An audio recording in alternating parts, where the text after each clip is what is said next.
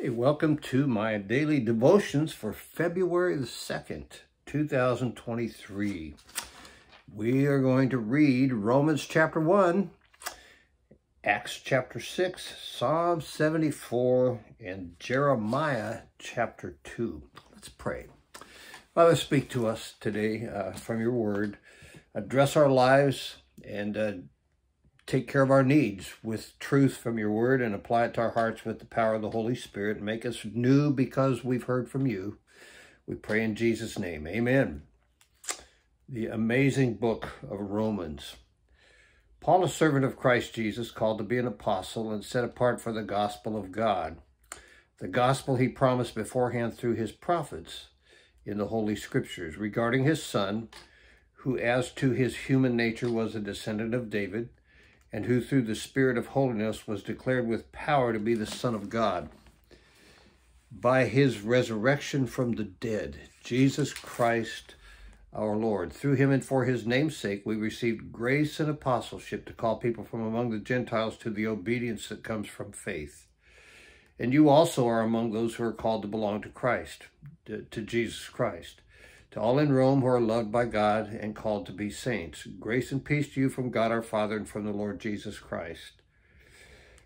First, I thank my God through Jesus Christ for all of you because your faith is being reported all over the world. God, whom I serve with my whole heart in preaching the gospel of his Son, is my witness how constantly I remember you in my prayers at all times. And I pray that now at last, by God's will, the way may be open for me to come to you I long to see you so that I may, be, may impart some spiritual gift to you uh, to make you strong. And this, this, that is, that you and I may be mutually encouraged by each other's faith. I do not want you to be unaware, brothers, that I planned many times to come to you, but have been prevented from doing so until now, in order that I might have a harvest among you, just as I have had among the Gentiles. I am obligated both to Greeks, to Greeks and non-Greeks, both to wise and the foolish. That is why I am so eager to preach the gospel to you who are at Rome. I'm not ashamed of the gospel because, because it is the power of God for salvation to everyone who believes, first for the Jew, then for the Gentile. For in the gospel righteousness from God is revealed, a righteousness that is by faith from first to last, just as it is written, the righteous will live by faith.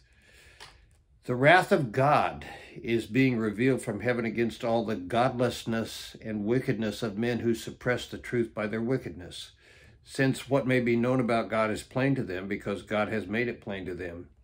For since the creation of the world, God's invisible qualities, his, his eternal power and divine nature have been clearly seen, being understood from what has been made, so that men are without excuse. For though they knew God, they neither glorified him as God nor gave thanks to him. But their thinking became futile, and their foolish hearts were darkened.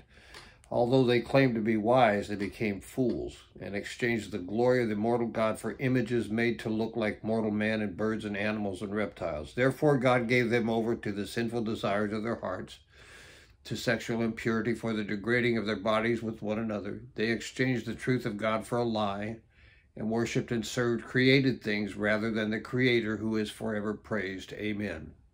Because of this, God gave them over to shameful lusts. Even their women exchanged natural relations for unnatural ones. In the same way, the men also abandoned natural relations with women and were inflamed with lust for one another. Men committed indecent acts with other men and received in themselves the due penalty for their perversion. Furthermore, since they did not think it worthy, worthwhile, to retain the knowledge of God, he gave them over to a depraved mind, to do what ought not to be done.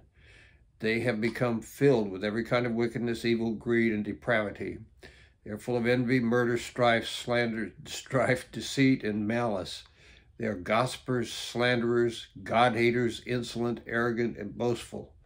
They invent ways of doing evil. Boy, we got that going on, don't we? Whoa, they invent ways of doing evil. They disobey their parents. They are senseless, faithless, heartless, ruthless. Although they know God's righteous decrees that those who do such things deserve death, they not only continue to do these very things, but also approve of those who practice them. Acts chapter 6.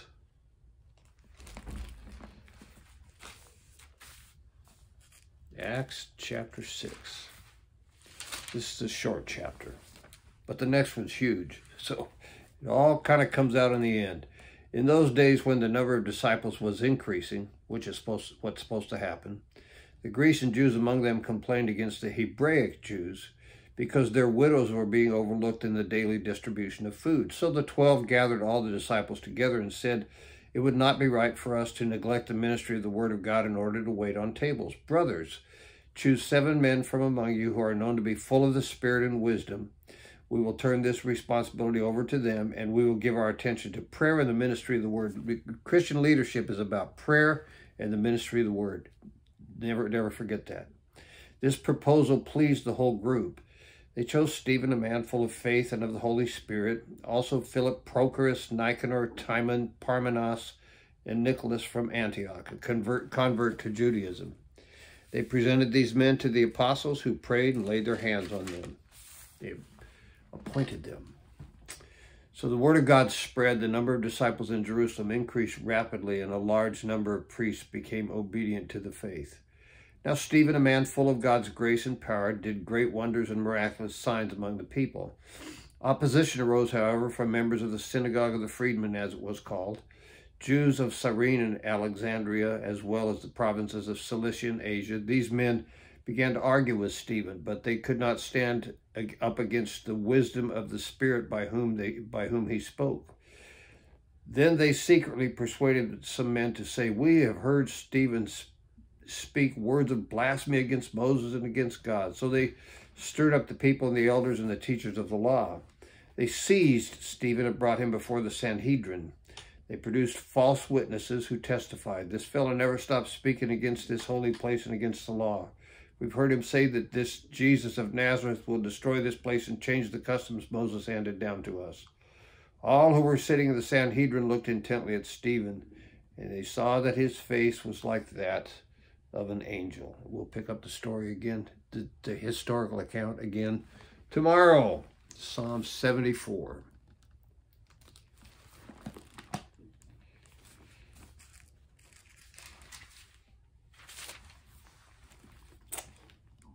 This is a, a psalm written by Asaph. Why have you rejected us forever, O God? Why does your anger smolder against the sheep of your past pasture? Remember the people you purchased of old, the tribe of your inheritance, whom you redeemed, Mount Zion, who, where you dwell. Turn your steps toward these everlasting ruins, all this destruction the enemy has brought on the sanctuary. Your foes roared in the places where you met with us, and they set up their standards as signs. They behaved like men wielding axes to cut through a thicket of trees. They smashed all the carved paneling and all the axes and with their axes and hatchets. They burned your sanctuary to the ground. They defiled the dwelling place of your name. They said in their hearts, We will crush them completely. They burned every place where God was worshipped in the land. We are given no miraculous signs, no prophets are left, and none of us knows how long this will be. How long will the enemy mock you, O God? will foe revile your name forever. One of the things he's doing here, he's telling us, tell, telling the Lord exactly how he feels. And when you pray, you should tell the Lord exactly how you feel. And that's that's how he will, he will respond to you and help you. Verse 11, Why do you hold back your hand, your right hand? Take it from the folds of your garments and destroy them. But you, O God, are my king from of old, to bring salvation upon the earth. It was you who split open the sea by your power. You broke the heads of the monster in the waters. It was you who crushed the heads of Leviathan and gave him as food to the creatures of the desert.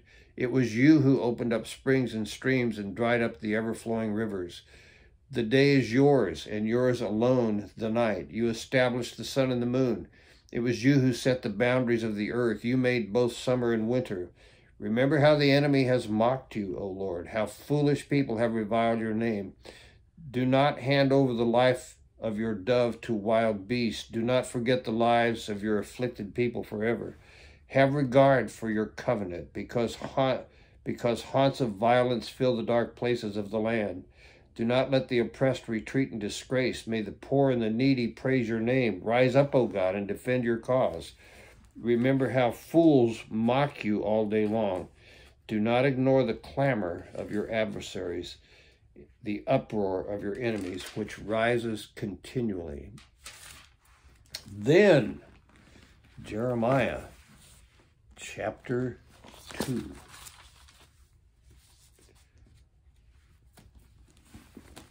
All I have to do is find it here real quick. There it is. The word of the Lord came to me, Go and proclaim in the hearing of Jerusalem. I remember the devotion of your youth, how as a bride you loved me and followed me through the desert. Through a land not sown, Israel was holy to the Lord, the first fruits of his harvest. All who devoured her were held guilty. The disaster overtook them, declares the Lord. Hear the word of the Lord, O house of Jacob, all you clans of the house of Israel. This goes on for a while.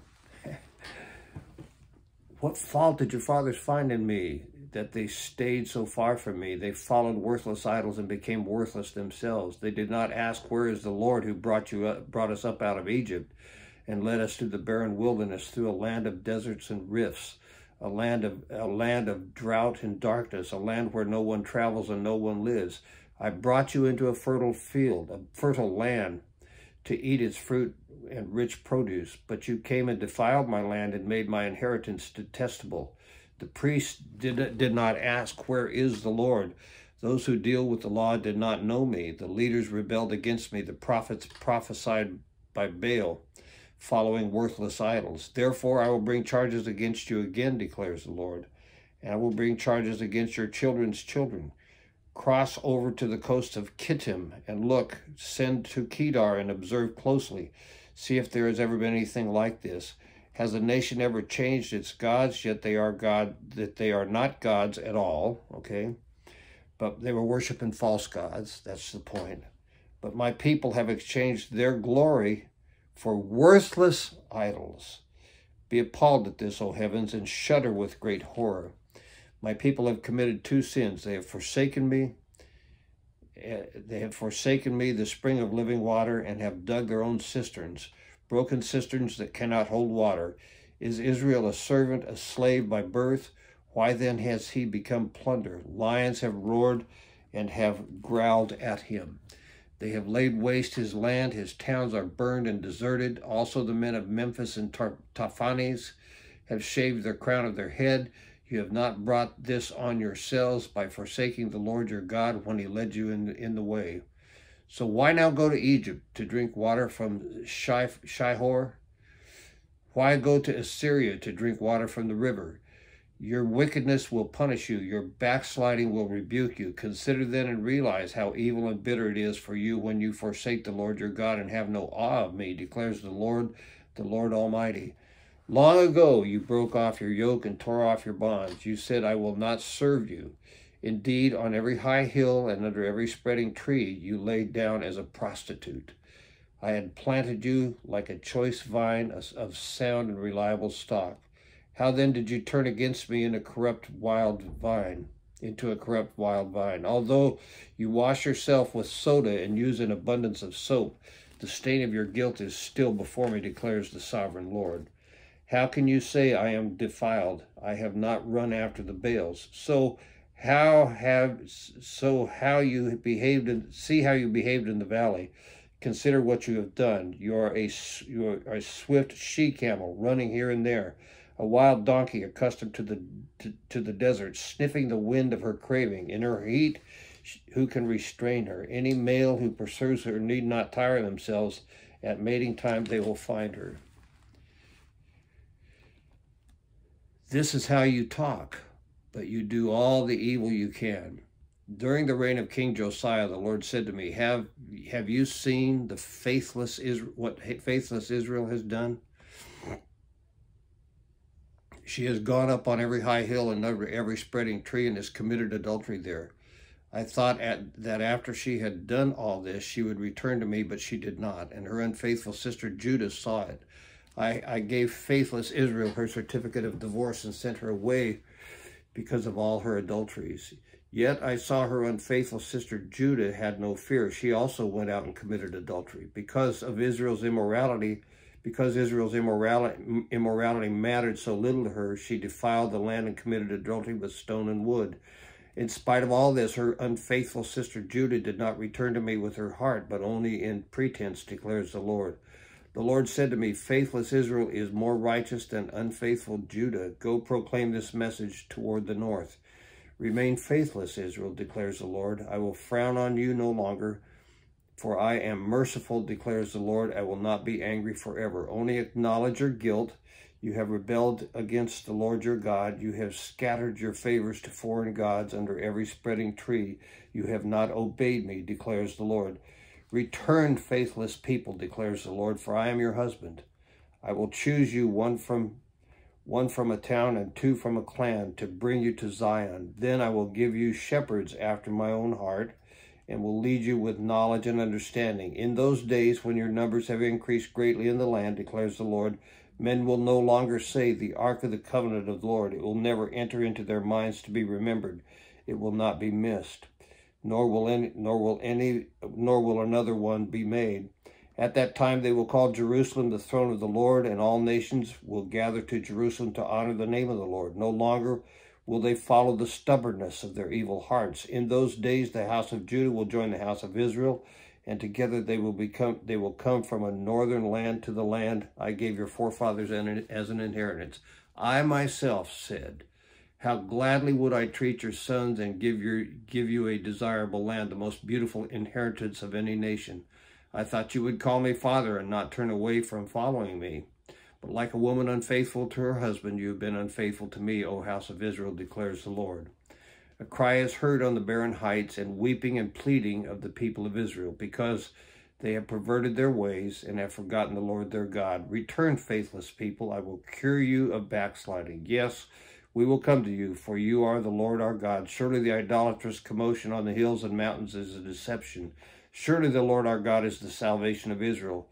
From our youth, shameful gods have consumed the fruits of our father, of our father's labor. Their flocks and herds, their sons and daughters. Let us lie down in our shame and let us dis, let our disgrace cover us. We have sinned against the Lord our God, both we and our fathers. From our youth till this day, we have not obeyed the Lord our God. Let's pray. Father, you have spoken to us with clarity and with power. We thank you for that. Uh, write it on our hearts. Change us from the inside out by the power of your word, according to the power of your spirit, I pray. In Jesus' name, amen. Bless you. Have a great day.